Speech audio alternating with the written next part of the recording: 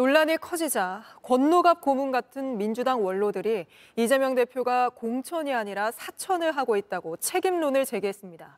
하지만 이재명 대표는 기자회견을 열어 툭하면 사퇴하라고 한다며 불쾌감을 나타냈습니다. 이어서 최규진 기자가 보도합니다. 공천을 둘러싼 당내 갈등이 커지자 이재명 대표가 직접 나섰습니다.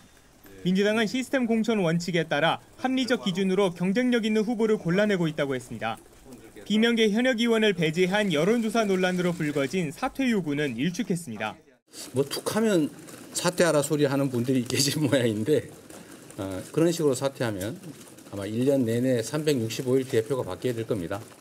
특히 이 대표는 당내 민주적 절차에 따르다 보면 1등도 꼴등도 나올 수밖에 없다며 오히려 조용한 공천이 문제가 아니냐고 반문했습니다.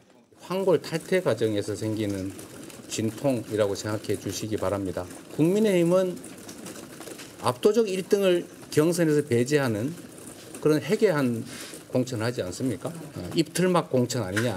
어, 우리 민주당은 그런 경우 없습니다. 반면 당내 원로들은 이 대표가 사적 목적을 채우기 위한 공천을 하고 있다며 책임을 져야 한다고 비판했습니다.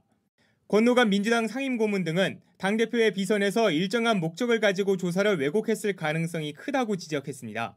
이에 이 대표는 공천관리위에서 국민 눈높이에 맞는 결과로 그런 걱정이 들지 않도록 할 것이라고 했습니다.